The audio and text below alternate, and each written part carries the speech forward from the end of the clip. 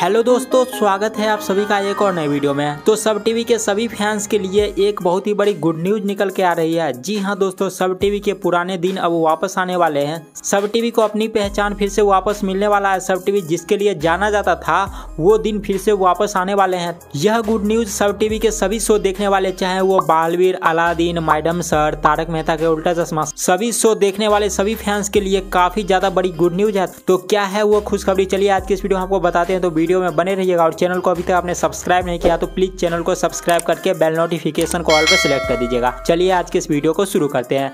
तो जैसा कि दोस्तों आपको पता होगा कि सब टीवी जाना जाता था कॉमेडी और फैंटेसी शो के लिए। जिस समय सभी टीवी चैनल सास बहू और फैमिली ड्रामा शो पे अटके हुए थे, उस समय सोनी सब ऐसे ऐसे शो को लेके आता था, जिसके वजह से सोनी सबको एक अलग ही पहचान मिल गई थी। ऑडियंस सोनी सबको कॉमेडी और फैंटेसी शो के लिए जानने लगे थे। लेकिन बीते कुछ सालों से सोनी सब अपनी पहचान खो दी, क्योंकि सोनी सब भी बाकी टीवी चैनल के तरह ही फैमिली ड्रामा शो लाने लगा, जिसके वजह से ही सोनी सब के बहुत सारे शो फ्लॉप हो रहे हैं। तो दोस्तों, अब वो सोनी सब का पुराना दिन वापसी आ सकता है, क्योंकि अभी करेंट टाइम में जो सोनी सब के बिज़नेस हेड हैं, नीरज व्यास इस समय सोनी सब, सोनी टीवी, सोनी पल, सोनी मैक्स, इन चारों चैनल के बिज़नेस हेड हैं। तो दोस्तों फाइनली अब नीरज व्यास सोनी नेटवर्क को छोड़ने वाले हैं। सोनी नेटवर्क को छोड़ेंगे, वो तो एक नए बिज़नेस हेड आएँगे। दोस्तों, मैं आप लोगों को बता दूँ, ये जो बिज़नेस हेड होते हैं, वही डिसाइड करते हैं कि किस तरह के शो टीवी पे लाना है। और जब से नीरज व्यास बिज़नेस हेड बने थे सोनी सब के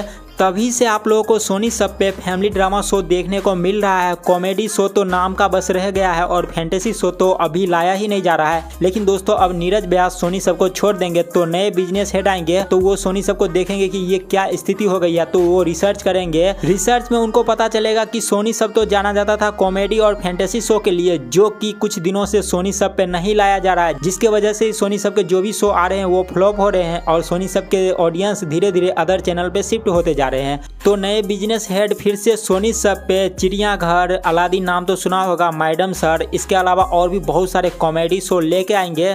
तो सोनी सब के फिर से अच्छे दिन शुरू होने वाले हैं। तो आप लोग इस न्यूज़ को सुनकर कितना ज़्यादा खुश हुए कॉमेंट सेक्शन में बताइए। और सबसे ज़्यादा सोनी सब के किस शो को देखने के लिए एक्साइटेड है, ये भी कॉमेंट सेक्शन में बताइएगा। आई होप आपको यह वीडियो पसंद आया होगा। वीडियो पसंद आया हो तो वीडियो को लाइक कीजिए। साथ ही इस वीडियो को ज़्यादा से ज़्यादा सभी सोनी सब फैंस के साथ शेयर कीजिए। और चैनल को भी सब्सक्राइब करके बेल नोटिफिकेशन को ऑल पर सिलेक्ट कर दीजिएगा। बस इस वीडियो में इतना ही। मिलते हैं जल्द ही आपसे एक और नए वीडियो के साथ। जय हिंद।